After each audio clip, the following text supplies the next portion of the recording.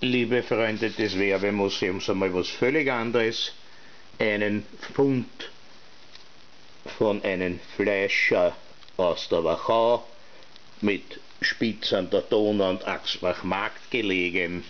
Wunderschön, Farbe vorne aus dem Jahr 1972, was Fleischer alles bieten. Ein Inhaltsverzeichnis hat das auch, das Werk. Ein Kalendarium hat es auch mit Bauernregeln.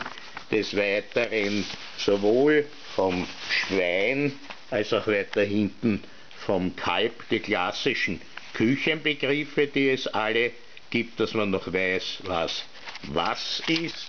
Da möchte ich daran erinnern, für alle, die es immer besser wissen, natürlich haben auch österreichische Frauen immer Kopftücher gehabt, vor allem am Land.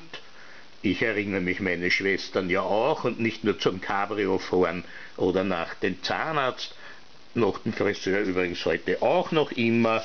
Und dann hinten was hochinteressantes, die perfekte Handpflege ist auch wichtig, was man tut äh, gegen Nikotinflecken, sogar für die Fleischhauerin.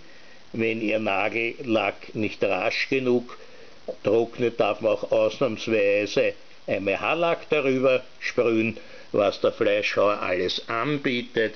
Ich selber bin nicht der große Fleischtiger, ich bin nur kein Vegetarier oder Veganer, aber das stören mich alle nicht, halte ich für sehr vernünftig, aber hier wirklich sehr übersichtlich und gut gemacht, wunderschönes Werk.